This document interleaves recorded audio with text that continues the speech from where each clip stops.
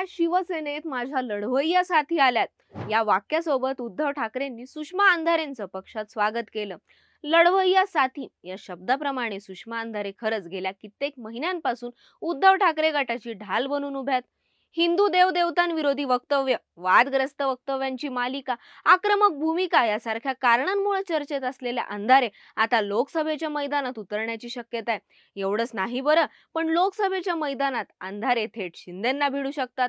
पण असं झालंच तर अंधारे खरंच शिंदेचा पराभव करू शकतात का? जाणून घेऊयात या व्हिडिओतून. मुख्यमंत्री एकनाथ शिंदेचे सुपुत्र श्रीकांत शिंदे यांना लोकसभेत पाडणार म्हणजे पाडणारच असं ठाकरे गटानं पक्क केलंय. आणि श्रीकांत शिंदेंना टफ द्यायला आता उद्धव ठाकरे मास्टर स्ट्रोक टाकू शकतात. शिंदेच्या बाले किल्ल्यात सभा घेऊन तर जोरदार पोस्टरबाजी करून ठाकरे गट आपली ताकद दाखवतय. आणि अशातच ठाकरे त्यांच्या फायर ब्रँड नेत्याला शिंदेच्या विरोधात रिंगणात उतरवू शकतात.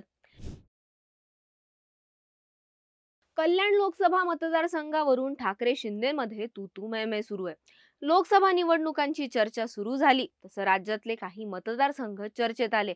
आणि त्यातलाच एक म्हणजे कल्याण लोकसभा मतदारसंघ. आता हा मतदारसंघ म्हणजे शिंदेचा बालेकिल्ला. त्यामुळं कल्याण बळकवण्यासाठी ठाकरेंचे प्रयत्न सुरू आहेत. आणि यात शिंदेचे सुपुत्र आणि उद्धव ठाकरेंमध्ये तू तू मै मै पण झालं. निष्ठावंत शिवसैनिकांना डावलून घराणेशाहीला उमेदवारी देणं ही आपली चूक असल्याचं सांगत आपली ही चूक माझ्यासोबत शिवसैनिकांनी सुधारायची असल्याचं ठाकरे म्हणाले.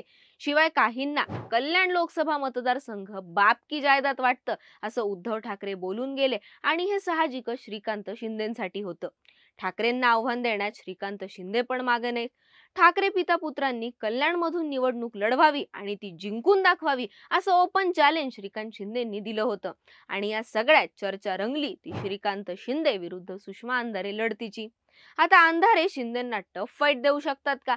हे बघण्याआधी कल्याण लोकसभा मतदारसंघातली राजकीय गणित काय आहेत ती बघू. मुख्यमंत्र्यांचे सुपुत्र श्रीकांत शिंदे गेल्या दहा वर्षापासून कल्याण लोकसभेचे प्रतिनिधित्व करत आहेत. कल्याणकरांनी दोन वेळा शिंदेच्या पारड्यात भरभरून मतं टाकली आहेत. त्यामुळे यंदाही श्रीकांत शिंदे हॅट्रिक करण्यासाठी सज्ज आहेत. शिवाय नगर विकास विभागाच्या माध्यमातून मुंबई महानगर क्षेत्रात येणाऱ्या शहरांवर एकनाथ शिंदेंनीही आपली पकड मजबूत ठेवली आहे. ठाणे आणि आसपासच्या शहरातल्या राजकीय आणि प्रशासकीय व्यवस्थेवर शिंदेची अगदी बारीक नजर असते. शिवाय कल्याण लोकसभा मतदारसंघातही श्रीकांत शिंदेच वर्चस्व आहे. शिवसेनेतल्या बंडानंतर ठाकरे गटाची ताकद कमी झाली आहे मात्र संपूर्ण ताकदीनिशी ठाकरे पुन्हा मैदानात उतरलेत आणि त्यांनी श्रीकांत शिंदेंना टार्गेट करत आपला मोर्चा कल्याण लोकसभा मतदारसंघाकडे वळवलाय. या मतदारसंघात गद्दार नाही तर एक निष्ठावंत उमेदवार देईन असं म्हणत ठाकरेंनी दंड थोपटले आणि यामुळे चर्चा रंगली ती शिंदे विरुद्ध अंधारे अशा थेट लढतीची. आता कल्याणमध्ये शिंदे विरुद्ध अंधारे लढत खरंच होईल का? कल्याण लोकसभा मतदारसंघात ठाकरे गटाकडून माजी आमदार सुभाष भोईर यांचं नाव सुरुवातीला चर्चेत होतं. त्यांच्या पाठोपाठ आदित्य ठाकरेंच्या नावाची पण चर्चा झाली. त्यानंतर ठाकरे गटाच्या पदाधिकाऱ्यांनी सुषमा अंधारेंना कल्याण लोकसभा मतदारसंघातून तिकीट द्या अशी मागणी उद्धव ठाकरेंकडे केली. ठाकरे गटाचे डोंबिवली शहर प्रमुख विवेक खामकर यांनी ठाकरेंकडे अंधारेंना कल्याणमध्ये उमेदवारी देण्याची मागणी केली आहे. कल्याण मतदारसंघ अंधारेंच्या फेवरचा असल्याचं त्यांचं म्हणणं आहे. पण सुषमा अंधारेंची राजकीय ताकद किती? असा प्रश्न इथं उपस्थित होतो.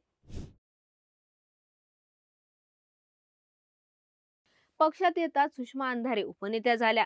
पक्षाची बाजू स्पष्ट आणि निर्भीडपणे मांडणाऱ्या सुषमा अंधारेंनी अगदी कमी काळात माध्यमांचं लक्ष पण वेधून घेतल्याचं दिसलं. शिवसेनेत बंड झालं आणि पक्षाची बाजू मांडणारे संजय राऊत जेलमध्ये गेले. पक्षाची बाजू मांडण्यासाठी कोणीही नसताना सुषमा अंधारेंनी ठाकरे गटात प्रवेश केला आणि तेव्हापासून अंधारे या ठाकरे गटाची ढाल बनून उभ्यात. बंडानंतरच्या दसरा मेळाव्यात भाषण करण्याची संधीही उद्धव ठाकरेंनी त्यांना दिली. सध्या सुषमा अंधारेंची ओळख ठाकरे गटाच्या फायर ब्रँड नेत्या अशी असली तरी त्यांची जुनी वक्तव्य त्यांना अनेकदा अडचणीतही आणतात. मग ती हिंदू देवी देवतांविरोधातली असो किंवा अगदी ठाकरे पिता पुत्रांविरोधातली त्यामुळे हिंदुत्ववादी ठाकरेंना अंधारे पटतात कशा अशी टीका ही विरोधकांकडून होते. कल्याणमध्ये शिंदेचा बोलबाला अंधारेंची वक्तृत्व शैली चांगली असली तरी निवडणुकीच्या रिंगणात त्यांचा ठाव लागेल का हे सांगणं मात्र कठीण आहे. आपण कल्याणमधून निवडणूक लढवणार नसल्याचं अंधारे म्हणतात पण जर ठाकरेंनी खरंच कल्याणमध्ये श्रीकांत शिंदेविरोधात सुषमा अंधारेंना संधी दिली तर ती लोकांना कितपत रुचेल असा प्रश्न आहे. आणि यासाठी त्यांची जुनी वक्तव्य भूमिका कारणीभूत ठरू शकतात. श्रीकांत शिंदे गेली दोन टर्म कल्याण लोकसभा मतदारसंघातून निवडून येत आहेत दोन हजार चौदाच्या निवडणुकीत ते अडीच लाख मतांच्या लीडनं जिंकले होते.